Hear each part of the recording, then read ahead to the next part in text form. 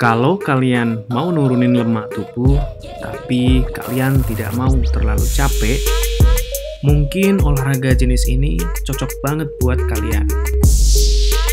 LIS Cardio atau Low Intensity Steady State Cardio yang merupakan jenis kardio dengan tingkat aktivitas yang rendah.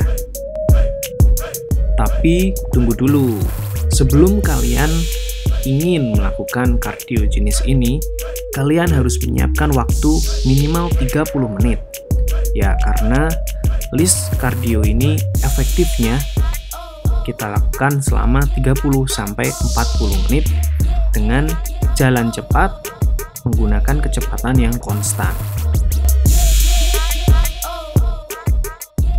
Meski intensitasnya lebih rendah dibandingkan olahraga jenis HIIT, tapi manfaatnya tak kalah dengan olahraga jenis HIIT.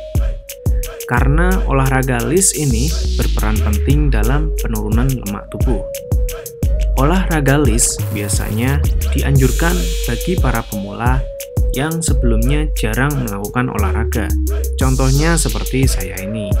Dan tentunya ingin memulai latihan dari yang ringan-ringan terlebih dahulu.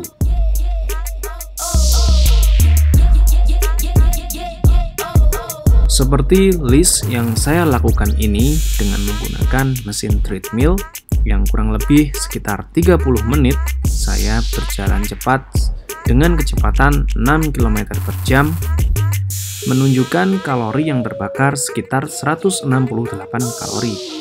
Tapi berbeda dengan smartwatch saya yang menunjukkan sekitar 148 kalori.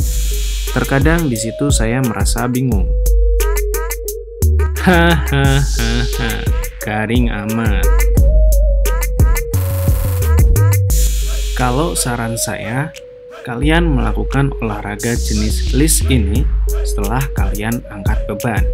Ya, karena ketika kalian angkat beban, kalian biasanya akan menggunakan energi dari karbohidrat dan gula kalian.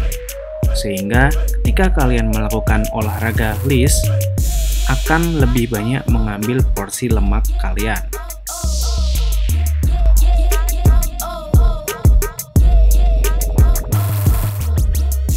Terima kasih banyak kalian sudah menonton video saya kali ini.